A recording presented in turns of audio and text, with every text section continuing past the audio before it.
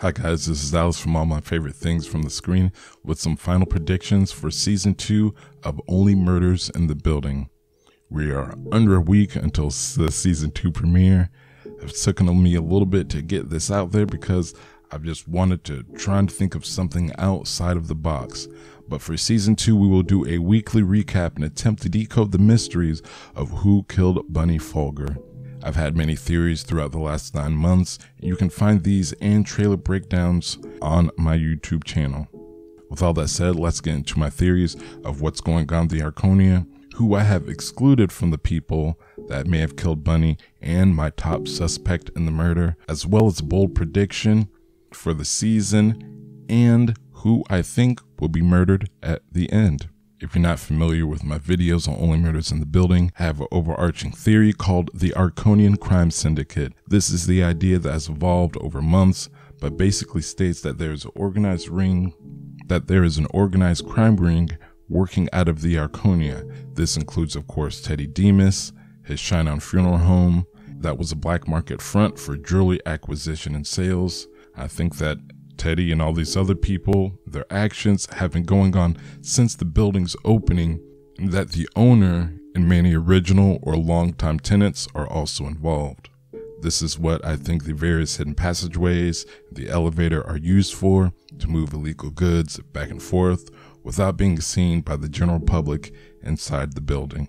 As the syndicate is likely a long lived empire, they're likely to work with New York's finest to help facilitate and cover up some of their actions that pass outside of the Arconia's walls. This is why Tim Kono's phone was never submitted for exploitation. And with that said, here are a couple people I do not think killed Bunny. First, the late show up to the series, but the Arconiacs. Though they have a motive wanting the podcast to continue, especially after Charles stated that they would return in the event of another murder, I don't think they would have the means or opportunity to do so, and they also take the chance that their podcast doesn't continue because the hosts are arrested for murder.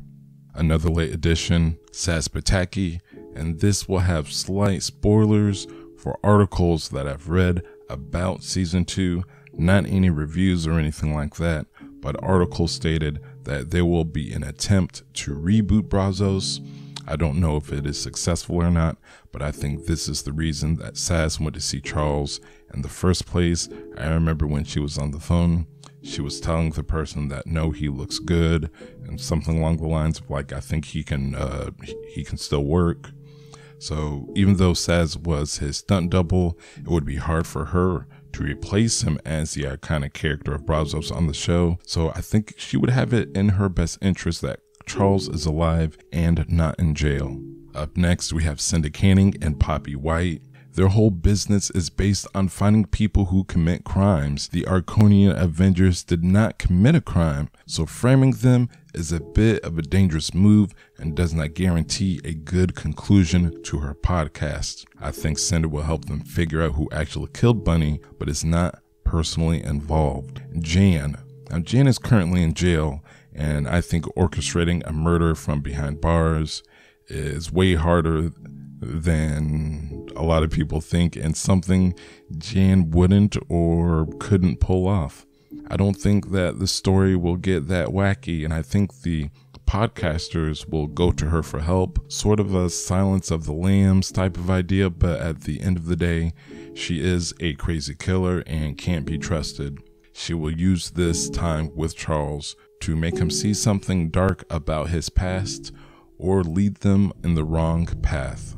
Up next, we have Ursula, and although she may know more about everything that's going on in the building, I don't think that she's the guilty party of murdering Bunny. I can't see any type of clear motive that she would want to murder Bunny or make it seem as if our podcasters were guilty. I think she is a great character, and I'm glad to see more of her, but I'm just not seeing it yet for her. After that, we have another newcomer, Alice, played by Cara Delevingne.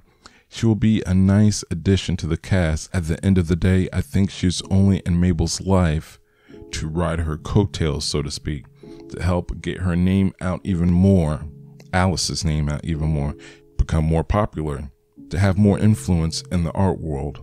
Mabel is one of the most popular people in New York right now, possibly the United States.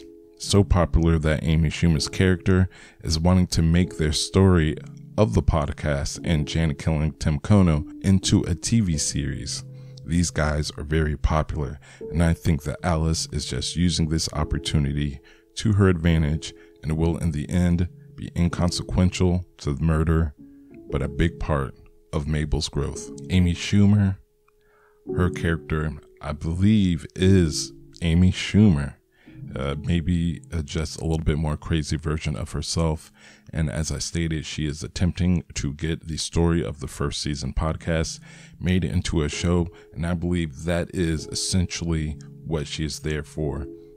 She was not in the building or anything of that sort at the end of season one. I do not believe so I think she is just there as a person to befuddle the series, make it seem as if there are more different things going on. It's definitely a red herring if they make it seem as if she could be guilty, but I think she's just a nice B storyline that I will very much enjoy.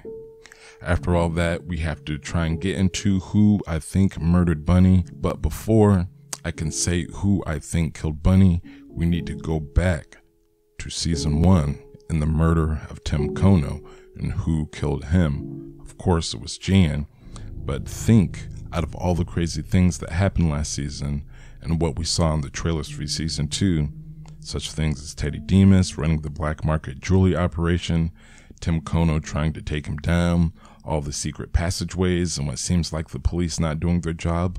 At the end of the day, all of this had nothing to do directly with Tim Kono's murder. Yes, Jan thought he was cheating because of the ring, but she was crazy to begin with, and I'm sure she has killed before. Tim wasn't killed because he knew what Teddy was doing or because he knew of potential other activities going on in the Arconia. He was killed by what appears to be a sole actor with personal reasons. Sting, the mystery of the tie dye guy. It's all great for story, but at the end of the day, it had no effect on who killed Tim Kono. So, likewise, I think Bunny was killed by one person with sole actions, and this person's intentions was not at all to at first blackmail our podcasters, but took this opportunity to convolute what was going on and distract from what really happened. Like we are distracted by all these other things that happened instead of going after the one person and the one actual reason that Tim Kono was killed. To know who would have reason to kill Bunny, I had to go back to anyone who spoke ill of Bunny in the first season, and it didn't happen that much or that openly. The most openly person that we saw that people probably noticed was Howard, and he was at odds with Bunny because she forced him to vote to kick out the Arconian Avengers for violating other tenants' privacy and home by making them all characters in a podcast. He seemed to make up with Bunny, and I think he has more to do with the illegal activities that are happening than with her murder. He may be behind the notes left on Oliver and Jan's door, but the murder of Bunny, I think that was someone else.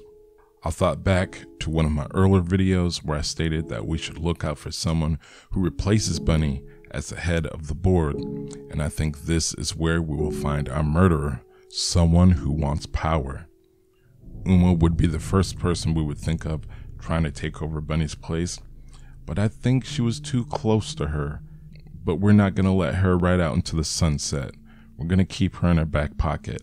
But what I'm proposing is that Ndidi Tim Kono's next door neighbor, killed Bunny because she wanted those extra rooms, but not just the extra rooms.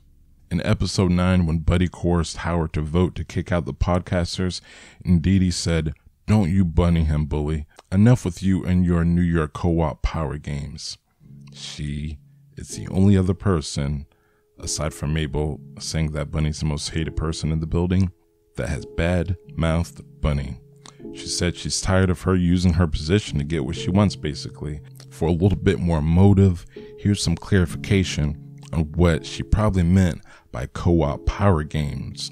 In order to understand, you first got to know what a co op is in New York City. Co ops also known as cooperatives, are owned by a corporation and are not considered real property. When buying a co op apartment in New York City, you're actually buying shares to the corporation that are allocated to that apartment, and this entitles you to a proprietary lease. Now, Ndidi attempting to get more shares of the corporation and becoming the next board president where she thinks that she could run things fairly. This would be an interesting story, even though Oliver uh, funnily stated that it's not the first time someone would have killed someone over real estate in New York. It wouldn't. And I think it would be pretty funny if that was the actual reason someone died in the second season. I mentioned in one of my previous videos that we should look out for who is vying for Bunny's old position. Now, if Ndidi does in fact attempt to take her place, that will cement my idea that it is her who killed Bunny. And if she does not, whoever does, this is going to be one of my biggest persons of interest. But I think it's going to be her. I think after stabbing Bunny inside of Bunny's own apartment, possibly with the help of Uma, she's not out of the woodworks yet. Bunny went to Mabel for help. Mabel thinking it was intruder because Bunny probably couldn't talk. She stabs her with her knitting needle, and this is when Bunny dies. Charles and Oliver come in, followed by the police, and this is where we find our podcasters at the end of season one. If this is indeed what happened, Ndidi would use this opportunity as a means to obscure her actions and move everyone's eyes to our podcasters as perpetrators while she hopes to silently and unassumingly take her place. Well, that's my theory on who killed Bunny. I wanted to go out of left field with someone I don't think anyone is expecting, and it is a bit of a bold prediction itself. I'm sure as the series goes on, I'm gonna have to ring myself in and I will get caught up in all these side quests and the storylines that I don't think actually has anything to do with Bunny's murder. But who knows? We'll see what will happen. We need to take it one step further with a bold prediction. My bold prediction is that Lucy is a bad kid and a bad influence. We've seen a little bit of her and she seemed to be helping our podcasters, but I'm going to say that she isn't what Charles remembers. Maybe she's kind of a bad kid. Maybe she's more like her mother than Charles really knows and thinks of Charles as a boring person anything's possible. And but that's my bold prediction that Lucy is gonna be my last bold prediction. It's gonna be a doozy on who I think will be murdered at the end of this season. And there are so many possibilities. I'm gonna keep it to two and hopefully narrow it down to one of these two by the end of the season. I'm hoping I don't need to change uh, either one of them out. But first, I'm gonna go with Charles's neighbor, Arnoff. I've got no real reason to think it could be him, but narratively, if they want to keep Lucy in the show, which I kind of hope they do, it would be great to have him die and then his connection with Lucy and his daughter or his children, because I don't know if he has any uh, boys or girls. That that would be a great way for them to continue to try and figure out what happened and who killed him. My second prediction, my second bold prediction of who will be killed at the end of the season, I'm going to say Jose Torres. This would be a good reason to get Oscar back, and this would be a great way to find out more true details about what's going on in the background of the Arconia, things that we don't really know. The true reasons for all these secret passageways and things like that actually have no reason or have no bearing on the murder in season one or season two. I do not believe. These are just my theories. There's no proof behind any of that. But either way, I hope you liked my final predictions for season two of Only Murders in the Building. Be sure to come back on the 28th where we will decode the first two episodes of Only Murders after they are released. You'll be able to find my initial thoughts as an audio podcast just a few hours after the show airs, but then a more in depth video later in the day as I'm able to collect my thoughts and put together some theories maybe a couple videos a week. Either way, thank you for watching. My name is Dallas, and I will see you on the rooftop.